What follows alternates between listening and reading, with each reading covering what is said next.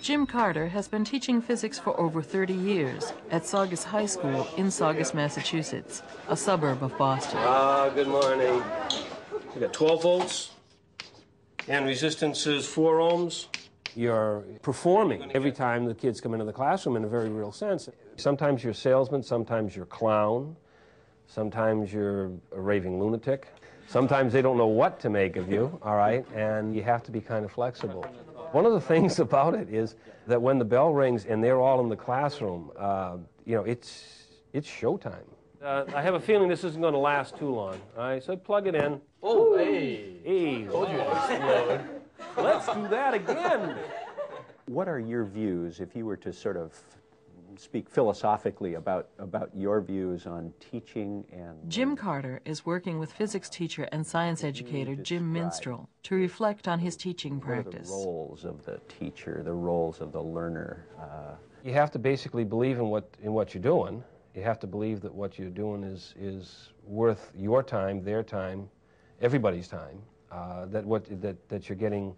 Uh, you're, you're giving them the opportunity to, to learn something that's going to be potentially significant.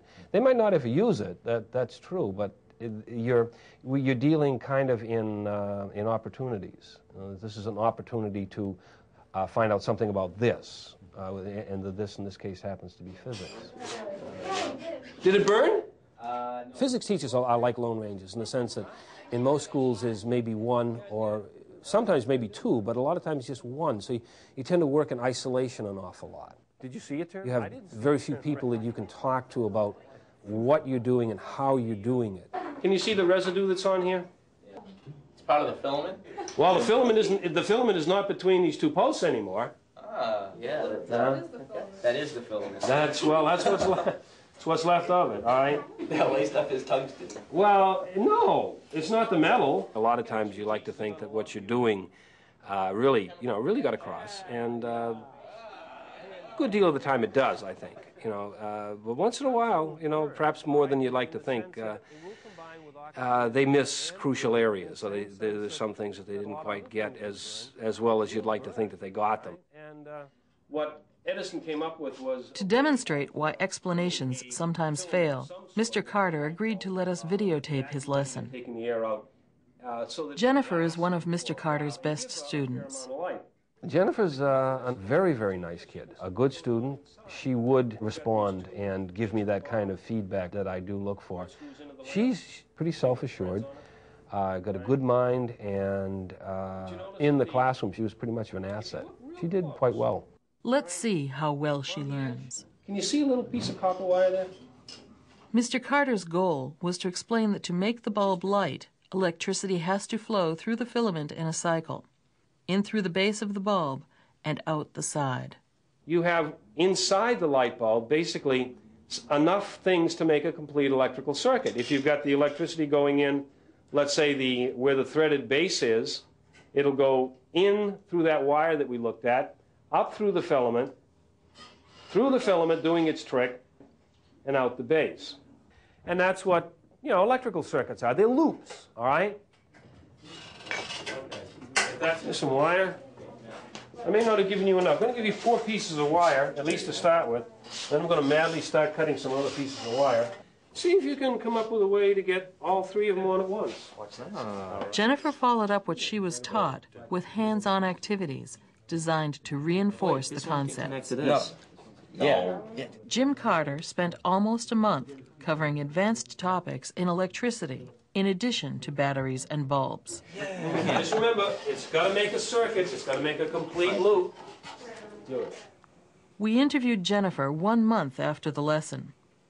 Mr. Carter watched tapes of the interview with Jim Minstrell. What do you think? Uh, uh, if you had like a battery and you wanted to hook up the battery to make the light bulb light up, what might you do?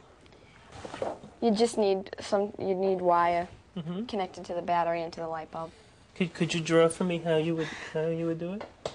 Jennifer is concerned that without the equipment used in class, the bulb can't light. You can just show me how. you, how you can I can I use something to plug screw the light bulb into? Why just the light bulb itself. Like the thing yeah. you use in class, like this thing here. Yeah. Well, why would you need this part? Um. I don't know. You can't. it just won't work. Okay, and now here you're you started twisting there. And why did you do that? just to keep the wires in contact with each other. Okay. Can we try to light up the bulb and see? I'll, I'll hold it for you. You can. Jennifer right, didn't it light the didn't work. bulb, No. It didn't work. Okay. but even more surprising was that the mistakes she made were exactly the same ones she made uh, before the lesson. And then they'd be both connected to the bottom of the light bulb. What happens if that wire gets too hot? Jim Carter's careful explanations had done nothing to change her mind. They'll give you back what you gave them, but they can't take it another step beyond necessarily because they really didn't understand and grasp and internalize the concept that you were you thought you, that that you had presented in such a clear way. Now I, I'd like you to take a look at it and trace those wires down yourself and examine it carefully. Yeah, it might be a little sharp on the edges here. Oh, I was wrong. Oh, wait a minute. Well, uh, one of them's connected to the side, Mm-hmm. to the metal on the outside. Here. Okay. Do you think that's important that one goes out to the side, or do you think? Yeah. How, Jennifer finally realizes why her previous ideas are wrong and creates a new drawing that is 100% correct. And one of them to the side. So well, you said it wouldn't work last time. What do you think now? I still don't think it'll work, but mm-hmm. Wait, Could you draw in what you think you need to add to this to make the light bulb light? the little, just a little case. For some reason, Jennifer still doesn't believe her drawing is correct and insists the bulb can't light without the socket. I'd like to try out the drawing that you did. Mm-hmm. I'll hold the light bulb, I'll hold the battery, and you can tell me what to do. All right. Hook one piece up to each end of the battery. But before we attach it, I want to know whether you think this is going to work or not. No. It's not. No. Yeah. And, and why do you think it's not going to work? Um, because I think you need the, the. Whoops! I think you need the pieces to carry the charge. I don't. I don't think it'll work just connecting the wires to the light bulb.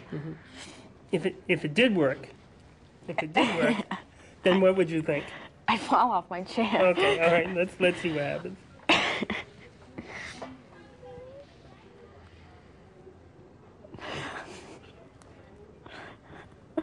Oh my god. Oh, it worked. I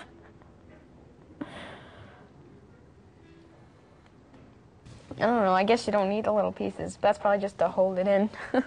Mm-hmm. If you were the physics teacher and you were going to teach the lesson on electricity, Uh huh.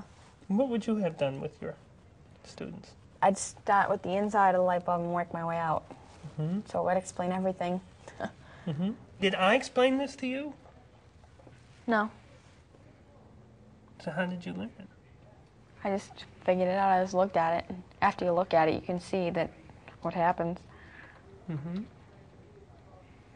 It's kind of obvious if you just look at it.